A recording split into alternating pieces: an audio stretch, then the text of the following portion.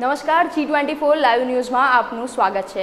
દર્શક મિત્રો, સૌથી મોટા સમાચાર સામે આવ્યા છે કે ગુજરાત બોર્ડની જે પરીક્ષા લેવાવાની હતી, ધોરણ દસ અને ધોરણ બારની એ એક્ઝામને હાલ પૂરતી મોકૂફ કરવામાં આવી છે. સીબીએસઈની એક્ઝામનો નિર્ણય આવ્યા બાદ હવે જીએસસીબીની એક્ઝામનો પણ નિર્ણય આવી ચૂક્યો છે, એટલે જે દસ અને ધોરણ બારની બોર્ડની એક્ઝામ જે મે મહિનામાં લેવાવાની હતી, તે હવે હાલ પૂરતી મોકૂફ રાખવામાં આવી છે.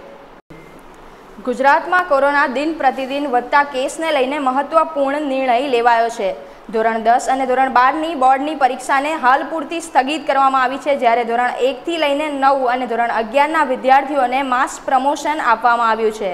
વિદ્યાર્થીઓના હિતમાં મહત્વપૂર્ણ નિર્ણય લેવાયો છે. સૌથી મોટા સમાચારમાં આ વાત કરીએ તો ગતરોજ સીબીએસઈની દસ અને ધોરણ બારની બોર્ડની પરીક્ષાનો નિર્ણય લીધા બાદ આજરોજ ગુજરાત બોર્ડને પણ મહત્વનો નિર્ણય લીધો છે.